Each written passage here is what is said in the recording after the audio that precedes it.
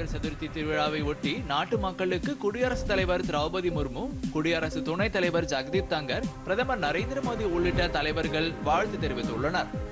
குடியரசுத் தலைவர் வெளியிட்டுள்ள வாழ்த்துச் செய்தியில் மகிழ்ச்சியையும் உற்சாகத்தையும் அளிக்கும் இந்த விழா சமூக நல்லிணக்கத்தையும் சகோதரத்துவத்தையும் வளர்க்கும் என்று கூறியுள்ளார். இந்நாளில் அமைதியான மற்றும் வளமிக்க இந்தியாவை உருவாக்க நாட்டு மக்கள் உறுதியேற்க வேண்டும் என்றும் திரௌபதி முர்மு தெரிவித்துள்ளார். குடியரசு துணைத் தலைவர் ஜெகதீப் தங்கர் வெளியிட்டுள்ள செய்தியில் அறிவு வளமை ஆகியவற்றின் கலவையான விநாயகர் கோடிக்கணக்கான மக்களின் மனதில் இடம் பிடித்துள்ளதாக தெரிவித்துள்ளார். மக்கள் சவால்களை எதிர்கொண்டு தைரியத்துடன் திகழ இந்த விழா அவர்களை ஊக்குவிக்கும் என்றும் தங்கர் கூறியுள்ளார். பிரதமர் நரேந்திர மோடி வெளியிட்டுள்ள வாழ்த்து செய்தியில் நாட்டு மக்கள் அனைவருக்கும் இதயம் கனிந்த விநாயகர் சதுர்த்தி வாழ்த்துகள் என தெரிவித்துள்ளார். மத்திய உள்துறை அமைச்சர் அமித்ஷா வெளியிட்டுள்ள வாழ்த்துச் செய்தியில் நாட்டு மக்கள் அனைவருக்கும் விநாயகர் சதுர்த்தி வாழ்த்துக்கள் என்று தெரிவித்துள்ளார். விநாயகர் அனைவருக்கும் மகிழ்ச்சி அமைதி வளம் ஆகியவற்றை அளிப்பார் என்றும் அமித்ஷா தெரிவித்துள்ளார்.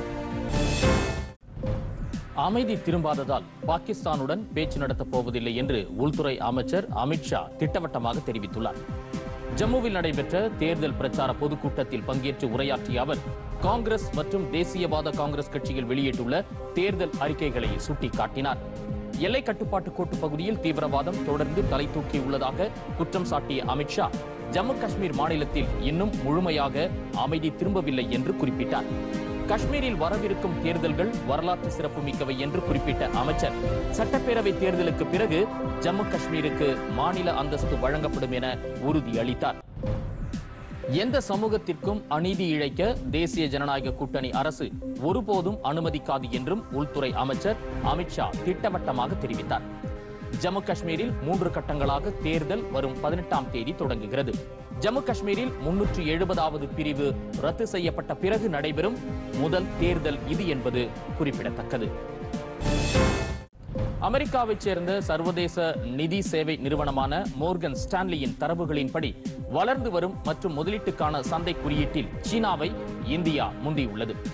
நடப்பு மாதத்திற்கான வெயிட்டேஜில் இந்தியா இருபத்தி இரண்டு புள்ளி இரண்டு ஏழு சதவீதத்துடன் உள்ளது. சீனா இருபத்தோரு புள்ளி ஐந்து எட்டு சதவீதம் மட்டுமே குறியீட்டை பெற்றுள்ளது. பொருளாதார நெருக்கடியில் சிக்கி சீன சந்தை தடுமாறி வரும் நிலையில் இந்திய சந்தை நிலையான வளர்ச்சியை பெற்று வருகிறது. இந்த நிலைக்கு இந்திய பங்கு சந்தையில் காணப்படும் சாதகமான சூழ்நிலையே காரணமாகும். திருச்சி காரைக்கால் பயணிகள் ரயிலில் இருந்து திடீரென புகை வெளியேறியதால் பயணிகள் அதிர்ச்சி அடைந்தனர். திருவெரும்பூர் ரயில் நிலையத்தில் நின்று கொண்டிருந்த பயணிகள் ரயிலின் ஒரு பெட்டியில் இருந்து திடீரென புகை வெளியேறியது. இதையடுத்து பயணிகள் ரயிலில் இருந்து பத்திரமாக வெளியேற்றப்பட்டனர். சம்பவம் குறித்து தகவல் அறிந்ததும் நிகழ்விடத்திற்கு விரைந்து வந்த தீயணைப்பு வீரர்கள் போராடி தீயை கட்டுக்குள் கொண்டு வந்தனர். தொடர்ந்து பயணிகள் அதே வழியாக வந்த வேளாங்கண்ணி சிறப்பு ரயிலில் ஏற்றி அனுப்பி வைக்கப்பட்டனர். பனாமா நாட்டிற்குள் சட்டவிரோதமாக நுழைய முயன்ற நூற்று முப்பது இந்தியர்களை அந்நாடு திருப்பி அனுப்பியது. கடந்த வெள்ளிக்கிழமை டேரியன் காட்டுப்பகுதி வழியாக இந்த நூற்று முப்பது இந்தியர்கள் பனாமாவிற்குள் நுழைய முயன்றனர். அப்போது அவர்களை கைது செய்த பனாமா காவல்துறையினர் அவர்களை அமெரிக்காவுடன் செய்து கொண்ட திருப்பி அனுப்பும் ஒப்பந்தப்படி நாடு கடத்தினர். இதுகுறித்து பேசிய பனாமா நாட்டின் புலம்பெயர்வோர் துறை இயக்குனர் நூற்று முப்பது பேரும் தனி விமானம் மூலம் புதுதில்லிக்கு அனுப்பப்பட்டதாக கூறினார். முறையற்ற புலம்பெயர்தல் தடுத்து நிறுத்தப்படும் என்றும் அவர் கூறினார். கொலம்பியா பனாமா இடையேயான டேரியன் பகுதி தென் அமெரிக்காவில் இருந்து மத்திய அமெரிக்கா மெக்சிகோ வழியாக அமெரிக்காவிற்குள் நுழைய விரும்புவோருக்கான முக்கிய வழியாக விளங்குகிறது. பாப்புவா நியூகினியா நாட்டுக்கு பயணம் மேற்கொண்ட உலக கத்தோலிக்க மத தலைவர் போப் பிரான்சிஸுக்கு அந்நாட்டில் உற்சாக வரவேற்பு அளிக்கப்பட்டது. பள்ளி குழந்தைகள் மற்றும் பொதுமக்கள் போப் பிரான்சிஸை பாரம்பரிய பாட்டு பாடியும் நடனமாடியும் உற்சாகமாக வரவேற்றனர். தென்கிழக்கு ஆசிய நாடுகளில் போப் பிரான்சிஸ் பனிரெண்டு நாட்கள் சுற்றுப்பயணம் மேற்கொண்டுள்ளார்.